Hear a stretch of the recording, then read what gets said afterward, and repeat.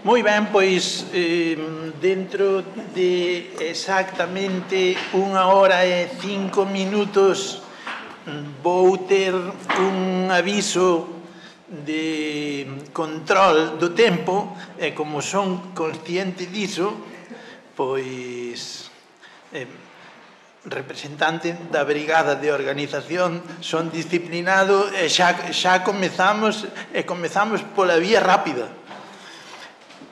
A ver, temos que, temos que sair daqui como máximo, máximo, ás 2 menos 10. Entón, eh, xa mm, metémoslle a quinta e directamente.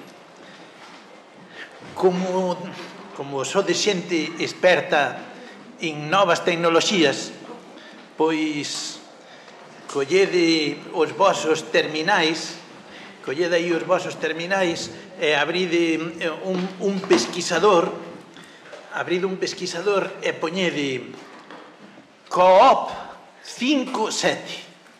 COOP 57. Non ten que ver con esta mesa, a COOP 57 non está nesta mesa, non, non, non me despistei. Non, non é absolutamente intencional.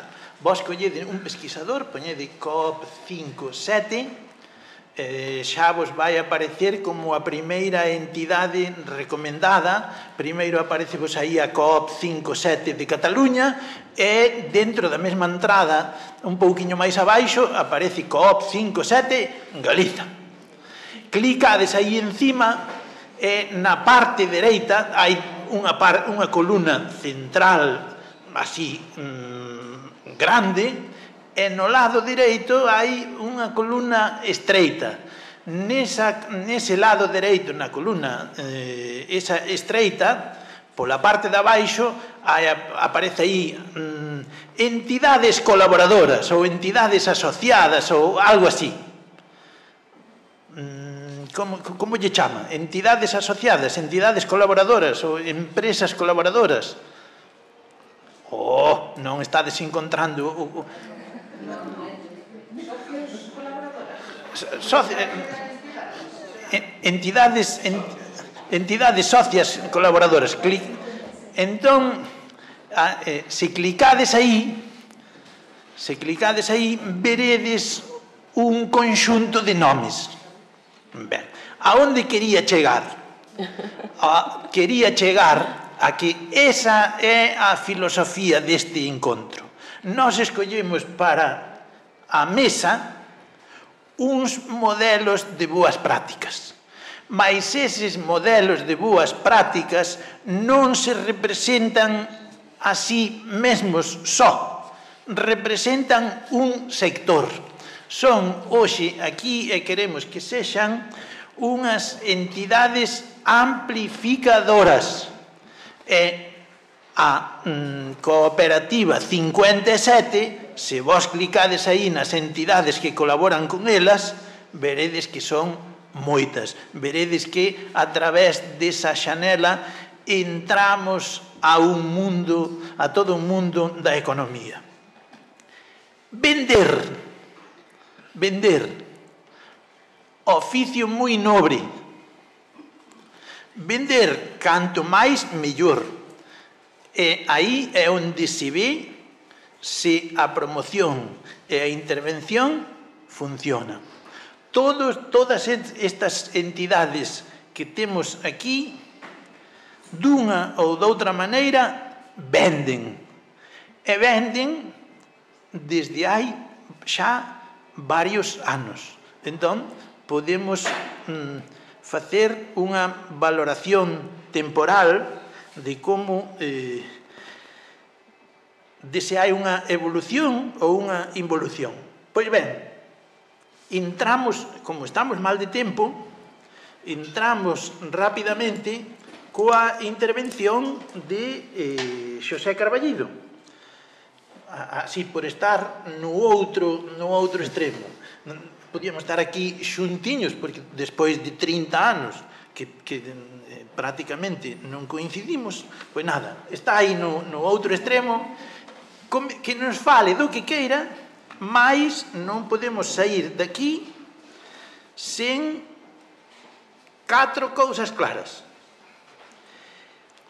Que é o Irgade, que é a, eh, o foro Enrique Peinador, que é Galeguizar Galicia, é que é a Asociación Álvaro das Casas.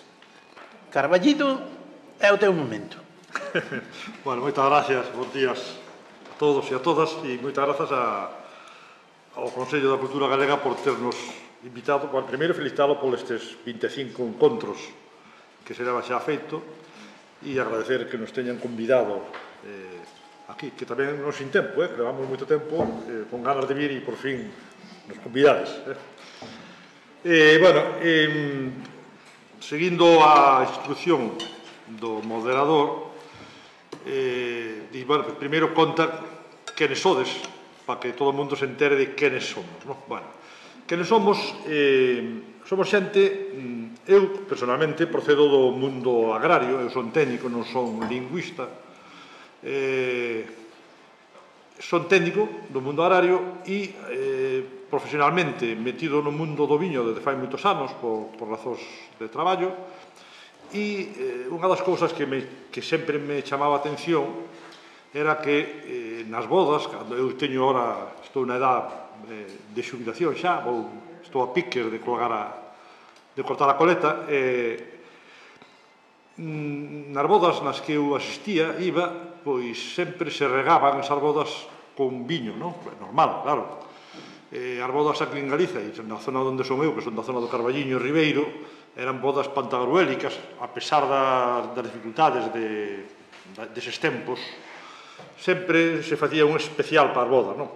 Entón había grandes comidas, grandes paparotas, algo de marisco, e no viño eh, tamén intentábase poñer en riba da mesa algún viño que destacara e que fixera que a familia promotora da, do casamento demostrara que había posibles, non? Entonces, eu lembro todas as bodas con un, un viño blanco nos primeiros platos do país, sin etiqueta, porque era do país, e era o mellorciño que tiñamos, e logo de segundo un Rioja, elegantemente vestido, con etiqueta, con unha banda plateada ou dorada. Ou... entonces eh, esa, esa cuestión que aparentemente era menor, eu creo que non era menor, porque daba a impresión de que, bueno, que, bueno, o do país vai en xarra e escribimos en tazas aquí os de, os de Santiago sabedes moito cando collíanse pides un ribeiro así a xarra fan así unha espuma claro, o do ribeiro non ten espuma nin, ten, nin é turbio, é transparente amarillo. Entón se dice, bueno, por que non damos pasos ao millor en, en ir cambiando este concepto non? por lo tanto, bueno, pues, o primeiro foi eh, conseguir que a xente embotellara o viño e que lle puxera unha etiqueta. E a, e a fase máis complicada era ao mellor que esa etiqueta pois, pues, que fora en galego que, bueno, xa que era do país, o viño, bueno, pois pues fagamos país ca etiqueta, non? Afortunadamente, xe cambiou, ou xa non é así, ou xa en todas as bodas que se producen aquí, hai grandes viños blancos e grandes viños blancos etiquetados, etiquetados, e, en algún caso, etiquetados en galego, cual dá outro pé, non?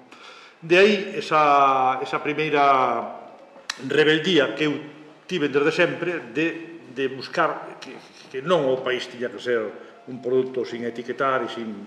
Como se nos dira vergonza incluso poñerlle o nome por fora, non? Logo había outro tema que era a racionalidade, e era que se temos un bo produto elaborado aquí, eh, producido aquí, e que xenera riqueza na, na, no entorno, no kilómetro cero, digamos, na cercanía, pois por que recurrir a outros produtos que veñen de fora? Se nós temos a máis produtos de grandísima calidad, refiro a produtos agroalimentarios, non só viños, eh, por que non consumir produtos, digamos, eh, deste, desta cercanía, porque ao final estamos movendo o comercio local e estamos movendo a economía local, non? Esa era a segunda manía que eu teño desde fai moitos anos, non? Logo, eh, tamén por pragmatismo, por pragmatismo inteligente, e era porque se vai daqui, para que va a buscar fora. Entón, dixe, bueno, pero mira, por que non, non?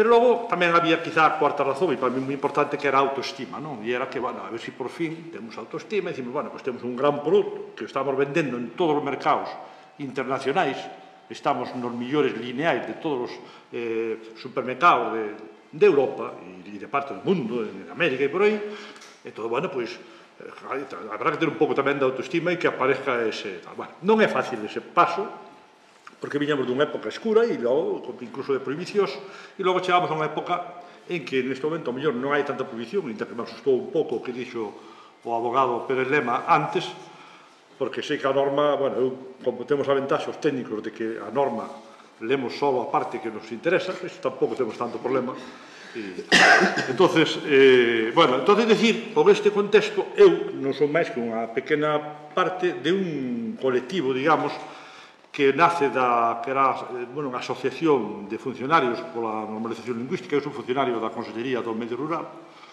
eh, e desde aí xurden, pois, eh, traballar, digamos, en rede e, sobre todo, picar en moitos sitios, non? Nos pensamos, os que somos... Ah, non, a mí sempre me dicían, os, os enxeñeros son, son moi brutos, non? Os máis todos son moi...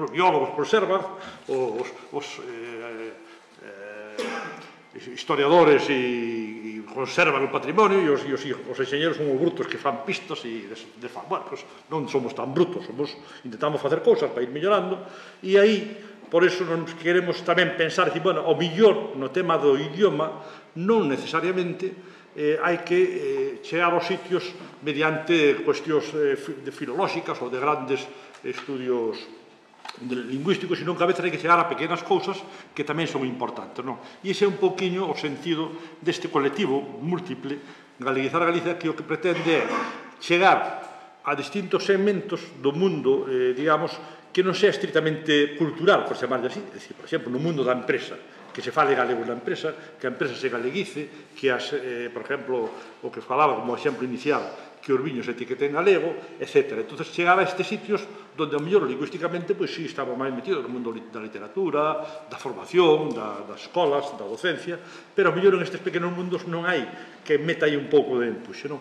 Por eso nace este colectivo, nace eh, eh, a, o que se chama o Foro Enrique Peinador, cunha persona que, digamos, que é a alma mater e promotora que é Xosé González Martínez, moitos conoceredes, Pepe de Redondela, que un home inquieto e que eh, pues, parte xa con este pequeno foro para intentar eh, galeguizar en distintos segmentos que non seamos clásicos, non? E aí pois, falamos de empresas, pois, eh, pois, por exemplo, hai eh, ainda recientemente unha empresa de Ourense que fabrica ambulancias para todo o mundo, sabedes que o 90, non, bueno, 90 é unha exageración, pero un X% das ambulancias que vedes por aí, que están pintadas de azul e amarillo, amarelo, estas ambulancias fa, faise en Ourense, o sea, fais o que é o, a carroz, o, o carrozado das ambulancias e a dotación de, de, das ambulancias, destas cosas, de oxígeno, estas cosas, fanse e tal. Bueno, esta empresa que está en Ourense, moi importante, empezou de pequena cousa, hoxe é unha empresa que exporta ambulancias para toda a Europa e para, e para, para América, e que, dentro outras cousas, se conseguiu, gracias a falar deste, con estes colectivos, de que o manual de instrucción das ambulancias provai en español, en inglés, eh, a veces en alemán, dependendo do destino, e en galego sempre tamén. Non? Bueno, pues, son pequenas cousas que, bueno, que tamén teñen a súa importancia. Non? Ou cando, por exemplo, eh, fai uns anos, eh, Barreras, cando Barreras indera Barreras, en pá descanse, entonces, pois, eh, en ese momento, eh, pois paralizouse o asteleiro de Barreira durante dúas horas, eu quedei sorprendido cando fun a, a ese acto tamén, de ver, de repente, estaba construindo un gran buque ali, e na grada se o os barcos como edificio, fanse andamios por fora, vanse aí centros de operarios e de operarias, soldadores, electricistas, pintores, etc. E, de repente, cada unha máis moi, era moi significativo porque os, os electricistas levan cascos azules, os pintores amarelos, entón, de repente, vías unha gama multicolor nas gradas onde se estaba facendo o barco parada e, en vez de estar mirando para o barco, estaba mirando para fora onde se desenvolvía un acto de galeguización da empresa Barreras. Non? E pararon Barreras durante un par de horas costa pasta. Costa pasta. Estábamos Pero bueno, os, os operarios, evidentemente, todos contentos, porque me estaba dando yo aos soldadores, estaba mirando un acto bonito, que ademais eh, actuou Susana Seibane, que, que xo se encandilou, co cual, bueno, é dicir, estas pe cosas que parecen pequenas, o mellor nunca tocamos en estes puntos. Bueno, pois pues esta é unha das, das digamos, das visións dese foro Enrique Peinador, e dentro deste colectivo de Galicia a Galiza, ademais, créase tamén a principios do século, no ano 2004, me parece recordar, a Asociación Álvaro das Casas, buscando sempre vías de conexión de por onde podemos entrar. Bueno, pois Álvaro das Casas era un señor que naceu, viviu en Neiro, no Ribeiro, crea no ano 1936 eh, unha cosa que se chamaba AUCRA, que é Unión de Colleiteiros do Ribeiro do Avia, e este señor logra, logra xuntar os colleiteiros daquela zona do Ribeiro, do Ribeiro do Río Avia, eh, e empezan a facer unhas reunións para dicir, bueno, temos que facer bo produto que podamos vender fora con boa calidade, prácticas enolóxicas correctas, etc. etc. E ademais, ademais etiquetar o produto e etiquetalo en galego. Estamos falando do ano 36, no? dous meses despois ou tres, todo cambiou, co cual isto desaparece, pero bueno, quedou ese xérmolo aí, non? Ele etiquetaba xa os semillos en galego, non? Logo se perdeuse, pero bueno, aproveitando eso, dicimos, bueno, pois pues temos un nome aquí, pois pues na mesma casa, na mesma casa donde se fundou esta Ucra, no mesmo lugar que é a casa do a casa grande do Sulloa, en, en Exposendo, en Rivadavia, aí mismo celebramos periódicamente agora un premio anual que lle damos a adegas que etiquetan eh, en galego. Entón, dáselle un premio eh, a estas adegas que etiquetan en galego. ¿no? Eso, inicialmente, só era pensado no tema do viño, pero, eh, posteriormente, a, empresas eh, do sector agroalimentario pois eran mismas que puxeron contacto con nós, dicen, mira, que eu tamén etiqueto galego, tamén quero estar aí, non? entonces digamos que se ampliou este abano dos premios Bacelos, chamamos Bacelos de Plata, eh, é un premio sin dotación económica, é un premio simbólico, dase unha pequena medalla, eh, pero bueno, e un diploma, pero bueno, en todo caso, fai un acto que, sobre todo, o que nos interesa era que repercuta cara fora, que salgan nos medios de comunicación para ver se si logo hai máis xente que di, ah, pois eu, por que non? non? Ese era un pouco o objetivo, non? Oxe, se digo, últimamente, damos premios a, eh, do, vacelos o ano, o sea, non o ano, só facemos cando temos algún tipo de recurso económico e, e a mellor a, Conselle, a, a Secretaría Xeral de Política Lingüística a veces se estira un pouco, marchou o Secretario Xeral, eh, a veces se estira e nos permite facer, ao mellor, pois isto, un pequeno premio, non, non ten un coste moi grande, pero, sobre todo, vindicar e reivindicar esas personas que dieron ese paso de poñer a súa etiqueta en galego, diga o que diga a norma e diga o que diga per el lema que tamén se marchou. no, bueno, a norma, eu creo que a norma pode ser... No, de momento non tivemos ningún problema, non? Bueno, eso por un lado. Por lo tanto, aí dáse esa asociación a labor das casas e, por último, seguindo en este traballo en rede, digamos, ou en, intentando que, que non enmoreza, pois creamos, dez anos despois dese primer premio, creamos o que se chama a, a IRGADE, ou a Irmandade Galega de Adegueiros e Agroalimentarios, que unha vez máis nace sendo solo de, de adegas, de, do viñedo, pero que xa nos o propio impulso que traíamos atrás nos eh, animou a facelo xa non só no tema do viño, no que eu son, digamos, a, a miña razón profesional, sino de toda a industria agroalimentaria. Entón creamos esa irmandade galega de agroalimentarios e de gueiros que forma parte deste, de, deste colectivo do Foro Enrique Peinador de Galeguizar Galicia e eh, o objetivo desta irmandade era pois iso que xa levamos uns, uns anos avanzando no proceso de etiquetada, etc., etc., darlle un pouco máis de visibilidade. E entón xuntar a xente que estaba metido xa en ese mundillo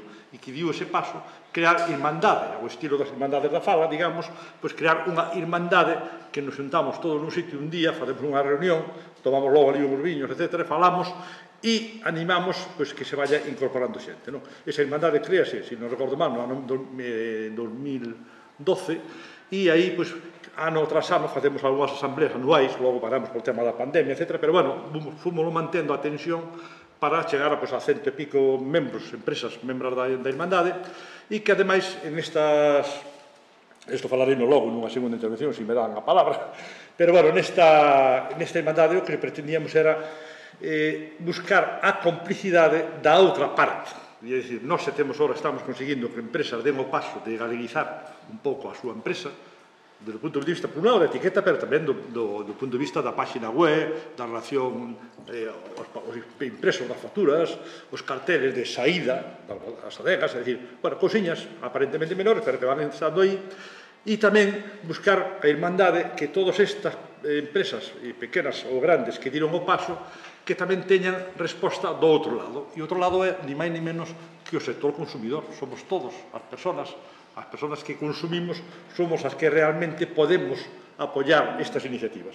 É dicir, se eu vou e compro un viño etiquetado en galego, entonces estou, digamos, dando un plus a estas empresas que diron ese paso. Non? Ese é un poquinho, nunha visión global, o, o que sería este, este colectivo este sarao no que estamos metidos, pero que creo que é necesario que todas e todos, cada un nos seus segmentos de profesionales ou de traballo, pois demos pequenos pasiños para que o que, o que debería ser normal, pois que empeza a ser normal. Que delicias que oitarte, Xosé Carballido. Mira, fíxate, fíxate nestas caras, fíxate nestas, nestas caras así. Eh, pareces un predicador. Ai, é mi candal. Chegou, chegou o momento tennos que quedar clarinete eh, que é Urdime, por unha parte, e por outra parte, que é o espazo cooperativo. Por un lado, que é eh, o grau de area, e por outro, o que é a praia inteira. Muy é o teu momento. Moi ben, pois moitas grazas polo convite, un placer estar nestes encontros nos que bueno, aínda que só recordo estar unha, unha vez nun que fora en Carballo, así un anaquiño por ali de convidada, pero de convidada público, pero que sempre sigo as convocatorias porque me parecen espazos ben interesantes e además nos que hai moita xente coa que no meu día a día ademais me, me relaciono laboral e, e persoal.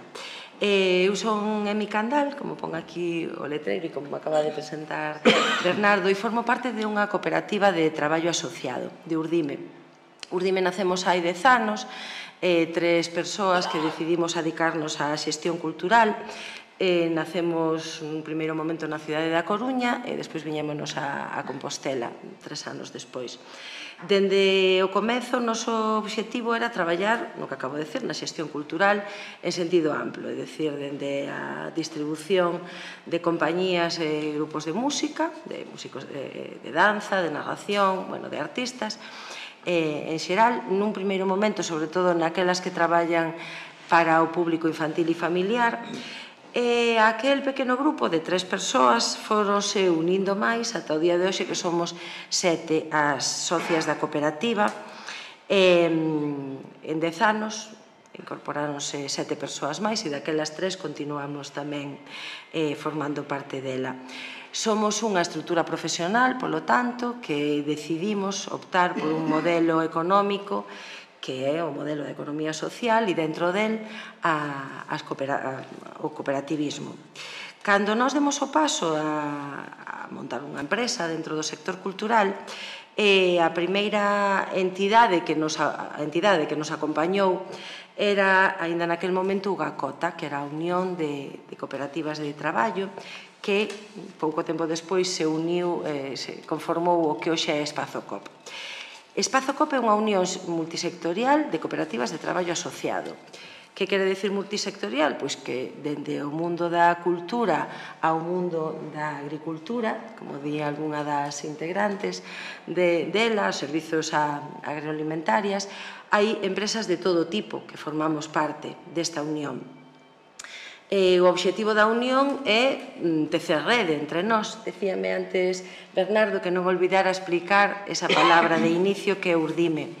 Cando eleximos o nome, eh, quixemos, ese, quixemos visualizar en ese nome que queríamos ser. E queríamos ser unha urdime sobre a que se tecen eh, proxectos, ideas, traballo e, eh, e ao final vida, porque ao final o traballo é no que adicamos unha parte moi importante das nosas vidas. E que cando tecemos neses fíos sobre os que empezamos a, a compoñer, a tecer, repito, eh, un dos fíos era a cultura e, polo tanto, un dos fíos era a cultura e o idioma e vou fiar isto cara a Espazo COP. En Espazo COP tamén vos aconsello que despois entredes na, na súa web e veredes que un dos obxectivos da unión empresarial e multisectorial de cooperativas de traballo asociado está a defensa da cultura e da lingua galega e aparece así recollido porque as persoas que o conformaron xa no seu momento e que o seguimos conformando a día de hoxe, sendo empresas, sendo eh, tecido empresarial, eh, consideramos que, e traballando en todos os sectores, non únicamente na cultura, eh, consideramos esa un, un dos nosos valores, un dos obxectivos do noso día a día eh, profesional tamén, e non únicamente personal. Eh, Espazo COP, eh, como digo, recolle e eh, forman parte dela neste momento máis de 250 empresas de todos os sectores e eu formo parte do Consello Reitor de Espazo COP. Consello Reitor, como de calquer entidade deste tipo, somos mm, asociadas, persoas das das empresas que, que formamos parte da Unión que eh, levamos adiante a labor política da, de representación e de, de relación política da entidade. Vale? Despois está o equipo técnico que leva máis o traballo do día a día da, da entidade. Vale? Eu formo parte desa, desa parte política de representación da Unión e dentro desa parte política do sectorial de cultura eh, no ano 19 eh, o número de empresas que formábamos parte de Espazo COP e que traballábamos dentro da cultura, de cultura, entendendo cultura en sentido amplo, porque somos a sectorial de cultura, turismo, ocio e medio ambiente, por tanto, en sentido amplo. Desas 250 socias que hoxe en día somos en Espazo COP, 65 somos desta sectorial. Por tanto, somos unha parte importante, por eso nos constituímos como sectorial. E a min tócame en este momento ser a responsable de, desta sectorial.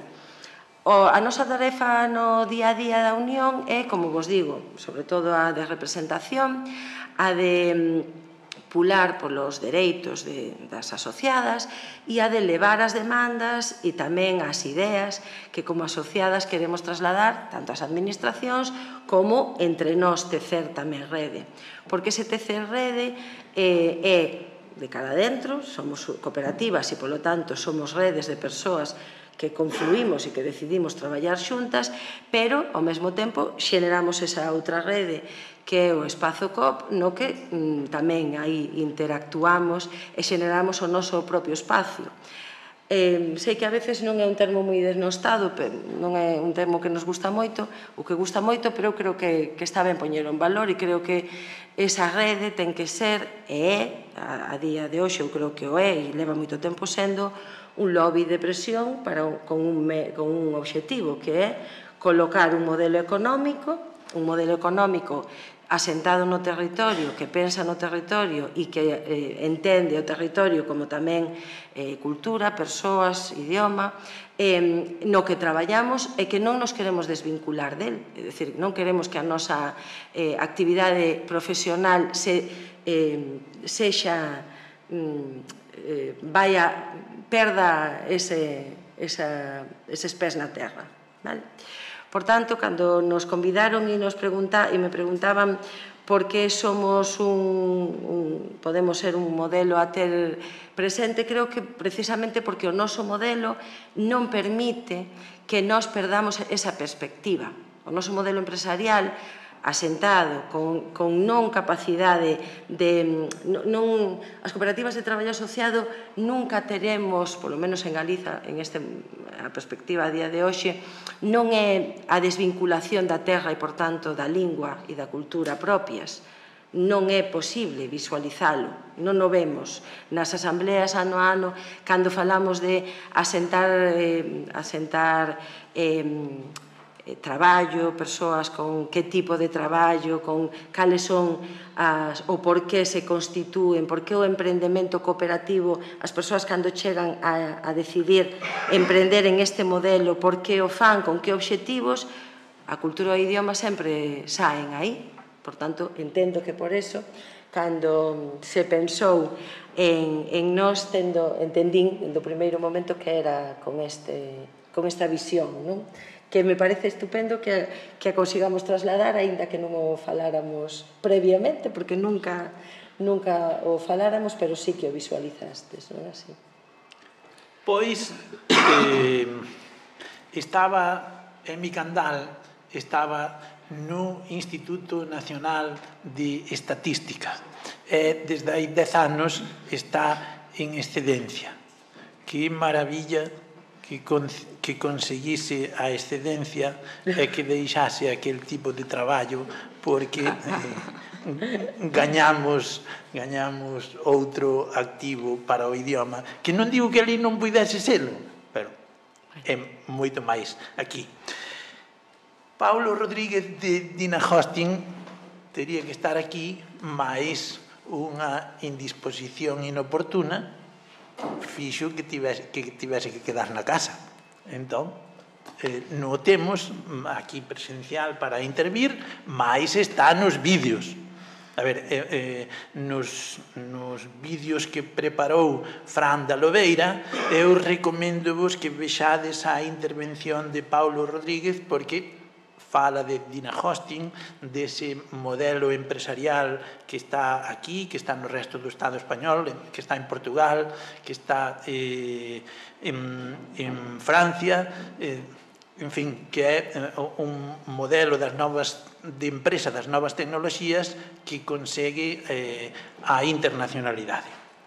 Pois, eh, feita esa, ese, feito ese recordatorio Eh, ese convite a que vexades a súa intervención no vídeo, pasamos agora a Xosé García.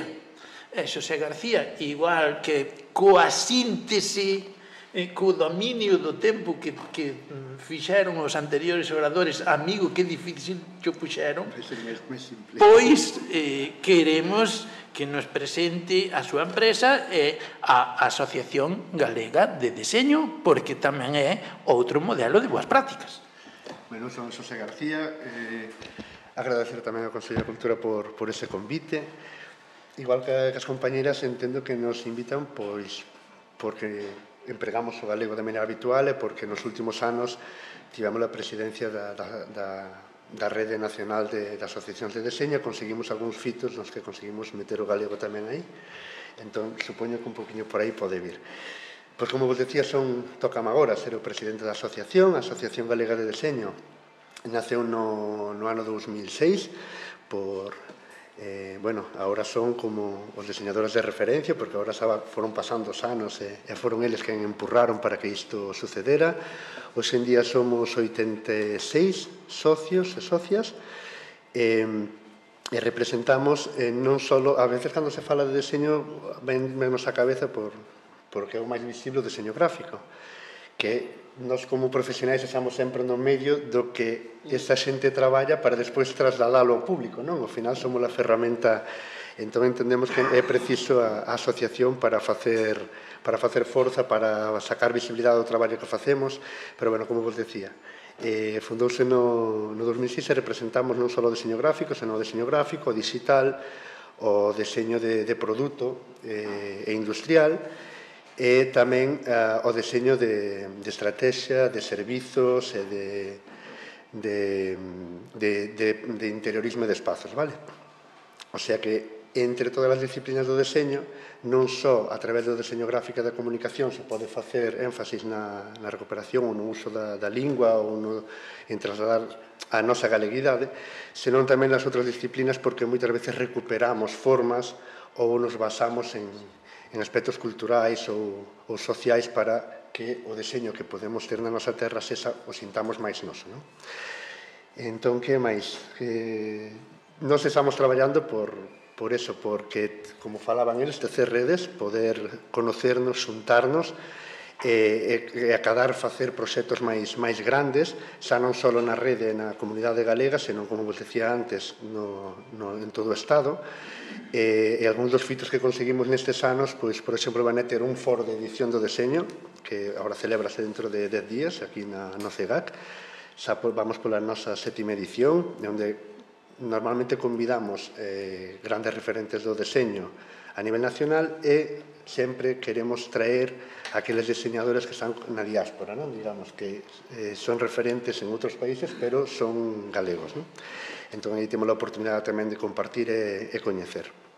Outra das cousas que estivemos facendo nestes últimos anos foi, por exemplo, traballar durante a nosa presidencia en, en READ, eh, traballar na, na elaboración do primeiro código deontolóxico da, da profesión que non tiñamos, e, e fomos capaces, e, está editado en, non só en castelán, senón tamén en galego, en vasco, en, en catalán, e meteuse tamén unha versión en valenciano, que a variante de, de valenciano. Entón, son esas pequenas cousas que, bueno, que intentamos, polas que intentamos traballar e, e facer. Non? E outro dos proxectos nos que estamos tamén traballando a nivel asociativo é no proxecto do Nodo Creativo Galego para eh, insertalo no, no SNIC, que eu, estamos traballando en todo isto, e crear un, un, un organismo nacional onde integre os pequenos nodos creativos das diferentes áreas e todo iso dentro de, do gran proxecto europeo da New Bauhaus Europea.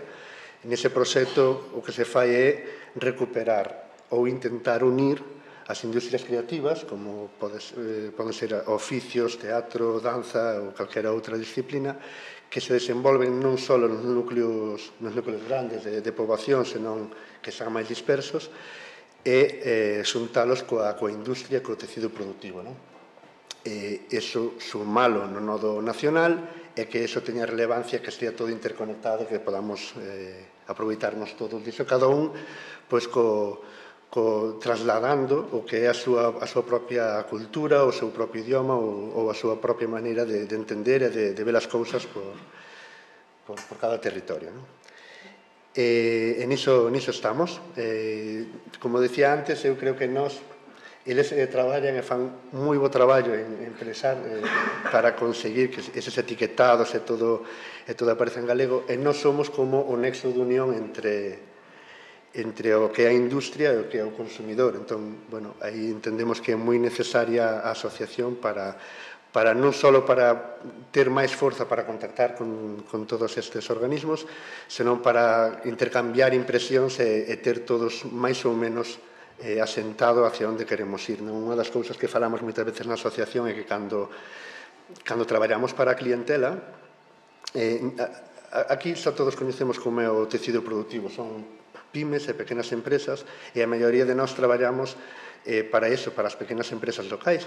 Entón, moitas veces temos que facer ese traballo como de bueno, de decirlle por que non te comunicas en, en galego, porque se si ao final os teus clientes están aquí na volta, é, é sempre un valor engadido, e, e iso é a verdade que, bueno, comentábamos antes aí fora, a receptividade é sempre moi boa, e ás veces hai algunhas traviñas seren ser por tema económico, que aí sí que estaría ben pues, buscar ferramentas que axuden a que, a que non sea un impedimento non para que a comunicación sexa maiormente en, en galego.